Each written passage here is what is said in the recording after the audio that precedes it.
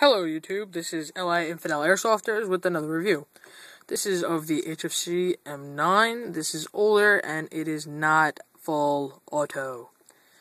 This gun is almost completely constructed of metal besides these little hand guards on the side of the pistol grip. On the side of the grip, I should say. Um, it comes with a metal magazine, 30 round, double stacked. Um, it's nice, it's heavy, it adds most of the weight to the gun.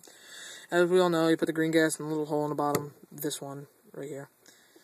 Um, okay. Magazine releases right here. This, I, like I said, this is the only plastic part on the entire gun, and they don't appear to come off. I'm not sure though because they, you know, they don't look like they can be unscrewed in any way besides these, but those don't really do anything. It's double action, or if you pull the, you know, you can pull the slide back or pull the hammer back, and it'll make the trigger pull a little bit easier. Besides, that's the double action.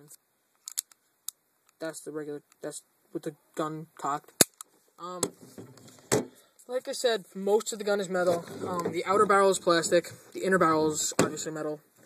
The orange tip right here was orange. Now it's sharpied over black. I'm gonna paint it with decent spray paint when I get a chance. Um, it'll work for now. It, it makes it the gun just look a little bit nicer. It's got the rail right here. Um, you can put a little flashlight, laser, etc.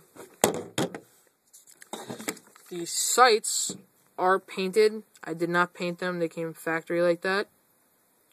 Um, yeah, they're nice. They're I actually like these more than the 1911 sights just because they're nicer.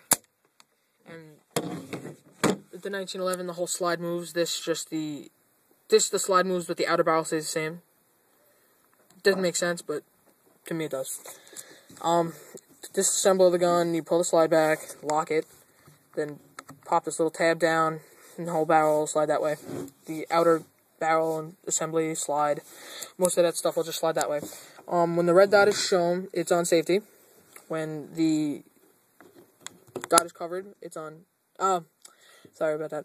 When the dot is shown, it's on fire, and when the dot is covered up, it's on safety. Therefore, you cannot pull the trigger at all it'll just go straight back. The slider release is metal. The little tab thing is metal. Um, the back of the is metal and it's textured. The whole gun is basically textured. There's a textured little finger notches right here, so when you pull the slide back, it's a little bit easier to get a grip. Um, yeah, that's most of this gun. The internals are pretty solid. I mean, this gun doesn't definitely does have a harder kickback than that. My 1911. See my Guitar Hero guitar in the background. Um, you know, this whole frame right here is one piece, obviously.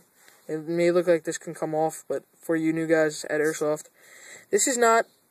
Um, me and my friend Nick have been playing for two years, and well, almost three years now, and uh, you know, these are my, this is my one of my first couple gas blowback pistols, and I do enjoy this one, and this is not one piece. You cannot change this part out unless you get an entire new frame, which I do not suggest because you could just buy another new gun for that money. Alright, this has been Steven with the LI Infidel Airsoft, and uh, make sure you comment, rate, and subscribe. Thanks. Bye.